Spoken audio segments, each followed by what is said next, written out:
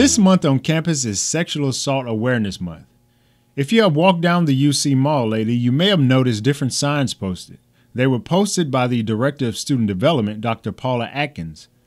Making college students aware of sexual assault is very important, according to Atkins. They're exposed to all kinds of new things, and it increases their risk of sexual assault.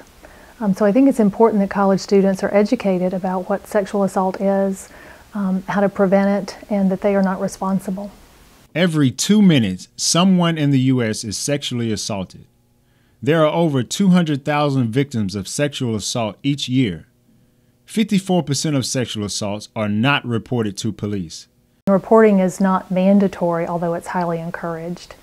Um, they can certainly report it to campus police if it happens on campus, and campus police will take their story and help find the perpetrator. That will protect the victim, that will protect future victims. All sexual assaults aren't women like most people think.